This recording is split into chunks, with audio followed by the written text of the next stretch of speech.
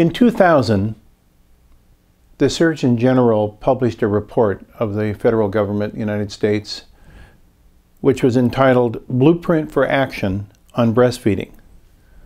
A very powerful manifesto for a plan for the United States as a country to improve the percentage of women who are breastfeeding their infants. It was built on years of evidence from reasonably good studies that breastfeeding, at least uh, during the first year of life, if not extended uh,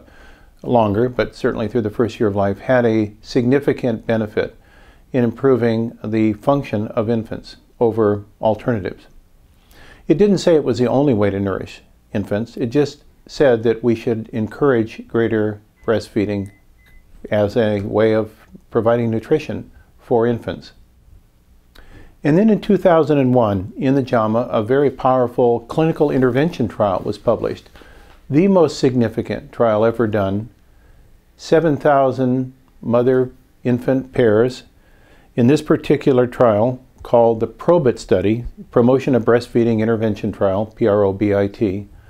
which was done in Belarus. And the reason it was uh, Belarus was a, a, place where they had very similar hygiene and sanitation as one would have in the United States, but they had uh, obstetrical uh, and care units that were very similar to the way that was in the United States 20 years previously, with the more uh, opportunity to introduce breastfeeding uh, for several days to the new mothers.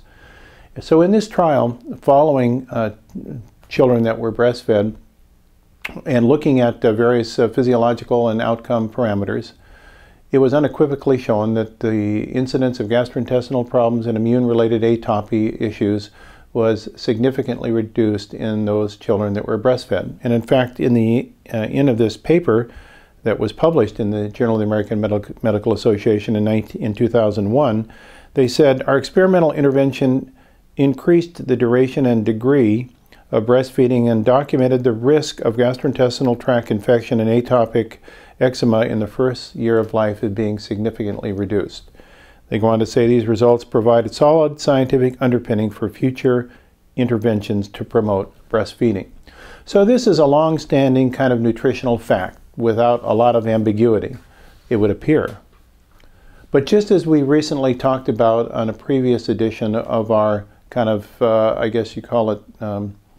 surprise as to what's going on presently with the federal government. When we talked recently about uh, the regulations on chlorpyrifos, the uh, particular uh, biocide that was uh, demonstrated over years to have uh, potential risk to children in their development of their nervous system,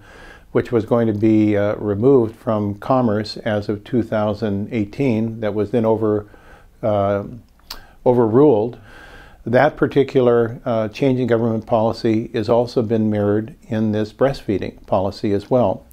And as you said, uh, even though based on decades of research, uh, there was a recent resolution by the United States uh, government's position at the Geneva Conference at the World Health Organization affiliated uh, Health Assembly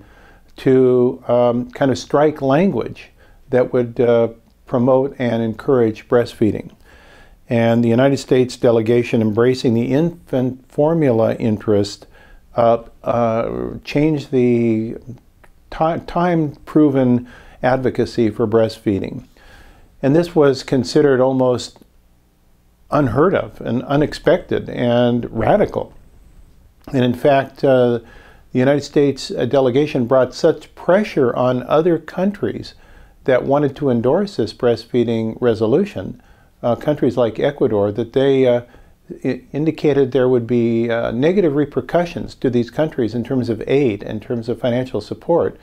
uh, if in fact they went ahead to vote in favor of this resolution. It was only saved as a resolution as a consequence, believe it or not, of Russia voting in its support, and the United States government decided it didn't want to take on Russia but it was going to be willing to take on a lot of these Latin American, Central American, and African countries that were going to support uh, the resolution. Now, what does that really mean? Well, you know, there was another interesting paper that appeared, or article that appeared in the um, New York Times in June 12th of 2017, written by a, a pediatrician, Dr. Perri Klass, who was speaking about her experience as a breastfeeding mother and physician in which she felt uh, kind of an obligation to uh, stand up and do what she was suggesting to her patients, even though it was uh, complicated for her as a professional. And she recounted the uh, kind of both some of the challenges she had, but also some of the um, uh, positive benefits that she found over the first year of life of her infant. Uh, this was her second child in breastfeeding. And so the, the concept is you can find ways around this as a mother, but it shouldn't be so pressured on the mother that they would feel not breastfeeding their child was some kind of a, a heinous mistake. In other words, freedom of choice might play a big, big and important role. Well, this study that I mentioned, the Probit study, uh, went on to follow up these infants for many years afterwards, up to 16 years after the initial um, infancy period, looking at things like cognitive development and neurological function to see if, in fact, those that uh, were breastfed had uh, changes that could be measured uh, at the age of 16. And it was found in a follow-up trial that was uh, recently published in, uh, in PLOS Medicine that breastfeeding during infancy looking at neurocognitive development, then later in adolescence, wasn't able to show any dramatic changes in the outcome of adolescence that they uh, could attribute to that of breastfeeding in infancy, other than that of some verbal ability differences that they found in the infants that were breastfed versus those that were not breastfed. Um, they, the uh, editorial that follows that particular article, I think, is interesting because it points out that after infancy going on into adolescent development, other factors may play important roles, such as parental um, oversight, um, general nutrition, uh, stimulation from their environment that may compensate for differences in uh, neurocognitive development acceleration that are seen in infancy with the uh, breastfed infants. So I think what we can take away from all of this is that uh, breastfeeding continues from a scientific perspective to be the optimal nutrition for infants. And it does, in fact, uh, help to promote proper immune function in those infants uh, that leads to lower incidence of things like atopic disorders, eczema, and uh, certain infectious disorders of their, of their um, GI tract. Later in life, uh, it may have some benefit also in neurocognitive development, particularly relates to verbal fluency. Uh, but there, though some of those things can be probably modulated by the way the child is stimulated and uh, their diet as they grow older.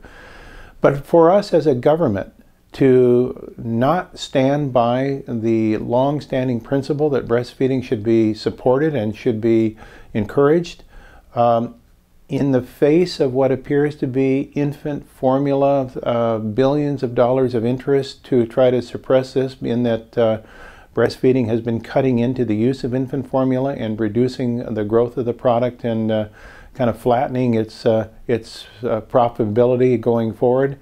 is one of the most heinous examples of uh, the misuse of information and the perversion of, of sensibility. So another example, just like our chlorpyrifos uh, example with the development of the nervous system in children, now we have a second example of our own government in the United States of taking a position against that which is uh, scientific, scientific fact and really uh, a tried and proven rule of reasonableness that breastfeeding is the principally best nutrition for infants. What a shame.